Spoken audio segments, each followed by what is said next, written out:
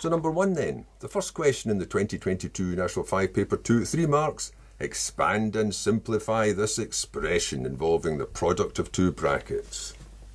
Now, according to the marking scheme, if you just write down the correct answer, you'll get three out of three. But you shouldn't really do that because you're taking a chance with the mental gymnastics. You're as well setting out some of it at least. You probably don't need to set out exactly what it means, which I'll put down to begin with. That bracket multiplying this bracket means everything in this bracket has to multiply everything in that bracket. That's why the brackets are there. So the 3x is going to multiply all three of them, and the 2 is going to multiply all three of them. There's going to be six products, but they won't all be different because the biggest product will be an x cubed, and the smallest one, in terms of powers that is, will just be the constant. So there's only four different types of things there.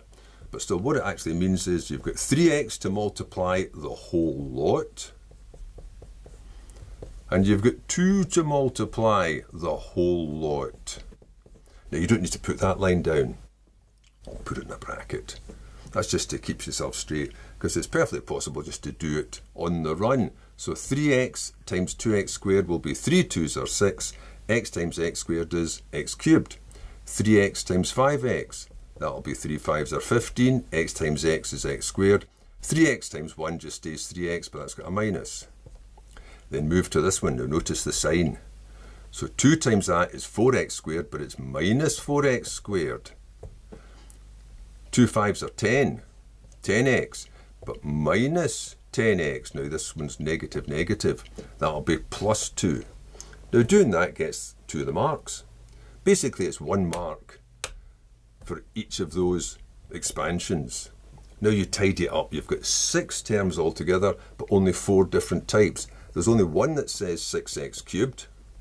There's only one that says a number, but there's two that say x squared. 15 take away 4, so that's 11. There's two that say x. 3 and 10, that makes minus 13x. There's only one that says 2.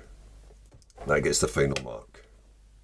Now, according to the marking scheme, if you didn't put anything down and just put those four terms down correctly, you would also get 3 out of 3 but you're probably best writing this out first of all. In case you make a mistake, just doing it all in your head.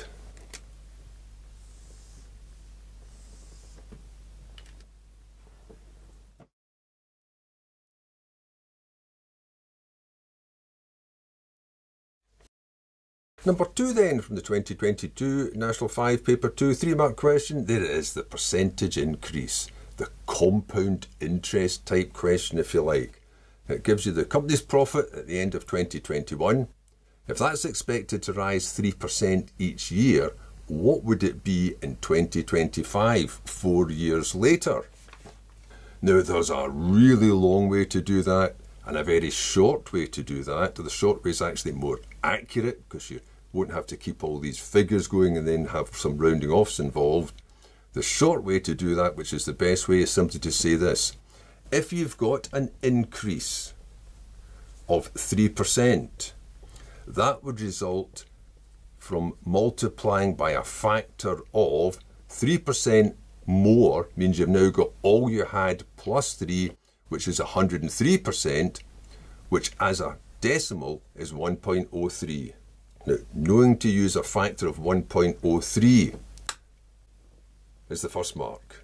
In other words, 100% plus 3%, which means out of 100 you've got 103 out of 100. That's what it would be as a common fraction, but you want it as a decimal fraction because that's easier to put into your calculator. And the next thing would be, instead of doing that four times altogether, you know, multiply by 1.03, you get the new answer, multiply by 1.03, you get the new answer, which would be a bit tedious and pointless, because all you're going to do is multiply by 1.034 times. You can just say in one go, what would the profit be four years later? It'd be whatever it is to start with. I'll not put the pound sign in just now. Put it back afterwards. You increase that by 3%, four times altogether, so you're multiplying by 1.034 times. Putting this calculation down gets a mark. Now it's just a case of press the buttons. So you type in the required calculation, you press equals, and put down the answer first of all. 241,984.39 and so on. And then check how you have to give the answer. It says give your answer to nearest thousand pounds. So there's the columns for the thousand. So I want to stop at that column. So that means the profit's going to be 2, 4. If I'm stopping at the 1, there's a 9 next, it'll be 2, 4, 2. That's the thousands column. So you'll have to fill the zeros into the remaining hundreds, tens and units.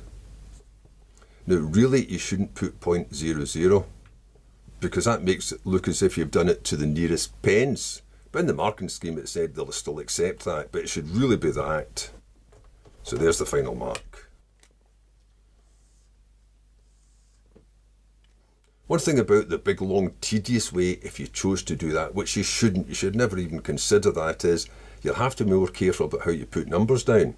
If you were to do it the really long way, which would be find 3%, and then add on 3%, get the new amount, and then find the next 3%, you'd have lots of intermediate answers. If your final answer has to have, which has here three significant figures, you should have your intermediate answers to one more figure. You'd have to write them all down with four significant figures at least. Or just keep the whole lot, you know, the same way as this, which makes it even longer then. For instance, find 3%, add it on. Find 3%, add it on. Find 3%, add it on.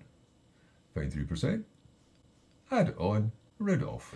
So doing that would obviously get you the correct answer, but it would just be ridiculous to do all that when you've got this simple technique of just using the increase factor the required number of times.